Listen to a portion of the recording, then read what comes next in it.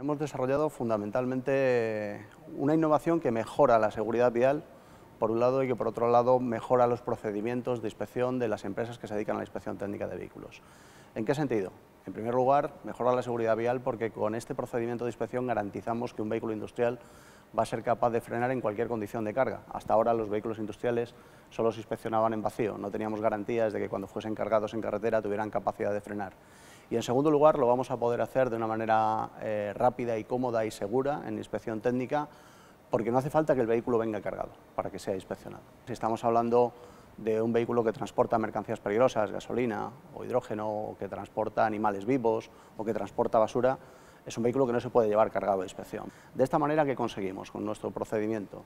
Conseguimos que venga descargado y se siga inspeccionando como hasta ahora, pero utilizando herramientas de simulación eh, nos aprovechamos de los resultados de la inspección del vehículo descargado para simular, mediante el software de f cómo se comportaría el vehículo en carga y qué respuesta tendría el, vehículo frenando en carga.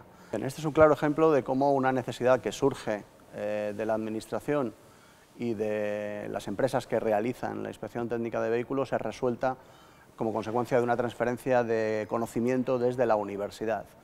En el ámbito del Instituto de Seguridad de Vehículos Automóviles y, colaboración, y con la colaboración multidisciplinar del Departamento de Ingeniería Mecánica y el Departamento de Ciencia y Tecnología Informática, hemos, hemos sido capaces de desarrollar esta aplicación que da solución a un problema real eh, que tenían estas inspecciones y que además aporta una clara mejora a la seguridad vial.